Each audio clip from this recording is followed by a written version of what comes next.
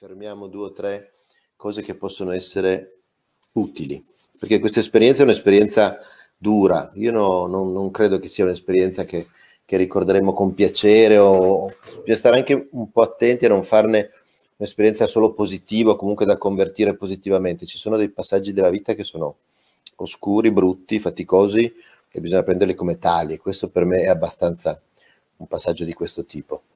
È vero che mentre resistiamo, mentre anche soffriamo, mentre, mentre cerchiamo di, di, di, chiamare a raccolta tutte le energie che abbiamo, tutti i neuroni che abbiamo, è vero che per strada ci viene dato il privilegio di, di capire qualcosa che forse non avremmo capito. Eh, se pensiamo a questo tema qua della rivoluzione digitale, eh, indubbiamente ci sono un paio di cose che tutti in questo momento eh, stanno capendo. Eh, una è che è, è caduta una, una, sorta di barriera quasi di tipo sentimentale tra gli umani e il digitale. Cioè, soprattutto negli ultimi tempi gli umani avevano questa um, molto sospetto, perfino un po' di risentimento.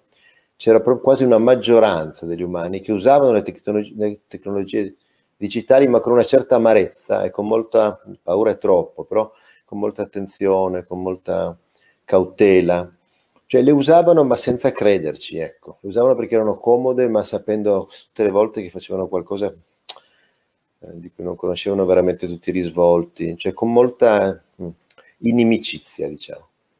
E questi due mesi qui hanno creato una grande amicizia. Sai come due nemici che poi li chiudi, cioè rimangono fermi in un treno nella campagna e cominciano a parlare. E credo che sia a poco a poco caduta questa barriera proprio di o risentimento o sospetto che c'era. Moltissimi umani hanno capito che invece il digitale era lì e in maniera abbastanza mite e neutrale gli concedeva cose che sarebbero state impossibili. E allora hanno cominciato a usarlo, diciamo, con un animo più sgombro, con, con una mente più, più tranquilla, e, e, si è formato, credo, un rapporto tra, proprio tra i device digitali e noi più giusto, non dico migliore o peggiore, però è più, più equilibrato. Ecco abbiamo fatto fuori, abbiamo spurgato tutta una serie di, di timori che, che, forse erano eccessivi o, o, di sospetto di base.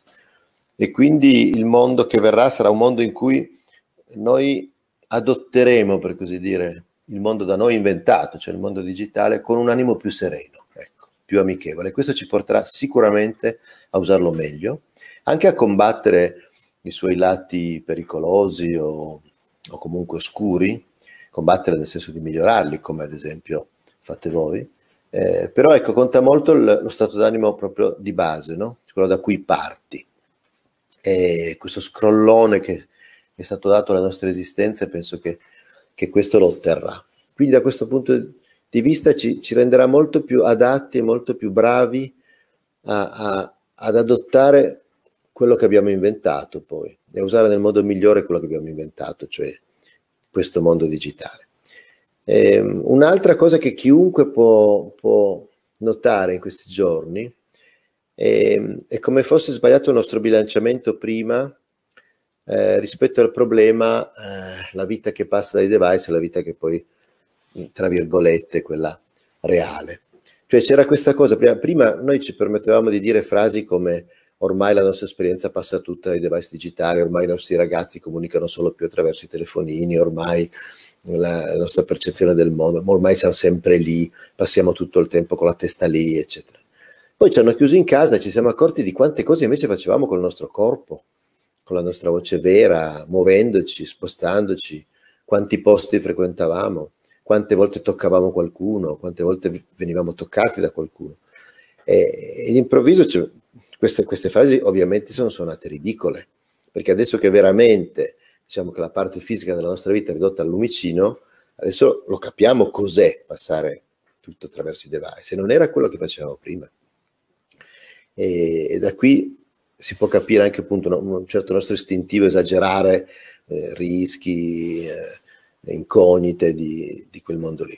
Adesso è come se ogni giorno ci ricordassimo uno strato in più ogni giorno di quanto in realtà con l'avvento della rivoluzione digitale noi sempre abbiamo conservato, conservavamo prima, una ricchissima presenza fisica nel nostro mondo. aveva un ruolo ancora enorme. Eh, e quindi ci verrà più facile immaginare quello che veramente è il punto che dobbiamo trovare, cioè un bilanciamento fra, fra, fra il nostro usare la tecnica digitale, la tecnologia digitale e eh, il nostro continuare a essere uomini, continuare a essere umani. E questo è il punto del domani, questo, perché in quel bilanciamento lì che, che, che non, non, ci riesce naturale, cioè facciamo fatica perché abbiamo da imparare lentamente tutta questa rivoluzione digitale, in quel bilanciamento lì, quando, quando a poco a poco si allestirà il mondo nuovo, quello uscito dal momento proprio grosso dell'emergenza, ma che sarà differente, lì di nuovo dovremo trovare come fosse una tacca giusta nel nostro bilanciamento.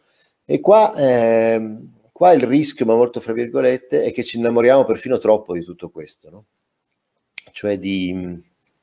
Mm, adesso che vediamo che poi tutto sommato non è male, cioè faccio un piccolo esempio, esempio mm, semi-privato. Eh, dovendo lavorare per la mia scuola, eh, eh, in questi giorni ovviamente ci sono tutte queste riunioni che facciamo come tutti voi e le facciamo in questo modo qua. Eh, insomma, sta, sta cominciando a passare l'idea che non sono niente male, cioè durano meno, sono più razionali, la gente deve intervenire entro un certo limite di tempo, quindi sintetizza il proprio pensiero. Siamo tutti più efficienti, ecco come dire. Siamo tutti più mh, disegnati bene. Ecco. E ci resta in più poi un'ora in più perché non ci siamo spostati da casa, parcheggiato, preso il pullman. Ci resta del tempo in più con cui fare cose tipo stare con i figli finalmente, o vedere cose, o leggere, o fare l'orto, queste, queste palle qua. E, ehm, beh, questa roba qua, qua eh, rischia di passare molto nelle nostre abitudini. E, ehm, e questo, boh, non lo so, ecco, bisogna vedere come, come girerà, però il rischio, diciamo che adesso ci sarà una sorta di rischio opposto, cioè di, di, di pensare che in realtà è molto meglio fare così, che no? perché poi spostarsi e andare da Milano a Torino per, un, per parlare con qualcuno vedendolo quando si può. Eh, boh, lì sarà molto bello, sarà molto interessante capire cosa faremo, però il punto è affascinante, cioè veramente è il bilanciamento che gli umani decideranno di dare tra il loro fisicamente esserci e il loro esserci eh, online o attraverso i device digitali, che come voi ben sapete non è meno reale. Eh, il, problema, problema, l'affascinante problema degli umani è di gestire una, una realtà, come ho cercato di spiegare nel mio libro, una realtà a due forze motrici, una più nel digitale e una più nel fisico, ma è sempre un sistema unico di realtà, non c'è una, una realtà virtuale una reale, diciamo. Siamo, siamo, reali ovunque e continuiamo a ruotare dentro tra sguardi veri, sguardi finti, foto, presenze, parole scritte, parole dette, parole ascoltate, cose toccate, cose raccontate. È fantastico, un sistema complesso di, di, di immensa ricchezza che fa di noi sicuramente degli umani più svegli, che esperiscono anche molte più cose. E resta il problema del bilanciamento. Ecco. Diciamo che prima andavamo avanti tutti con le mani così, con i piedi, no? con molta paura. E, e adesso quando, quando incominceremo ad allestire il mondo nuovo vediamo cosa, vediamo cosa succederà e speriamo di trovare un bilanciamento più saggio di quello che avessimo in passato, eh, più sereno, anche più allegro, ecco, più, felice una parola grossa, però magari allegro sì.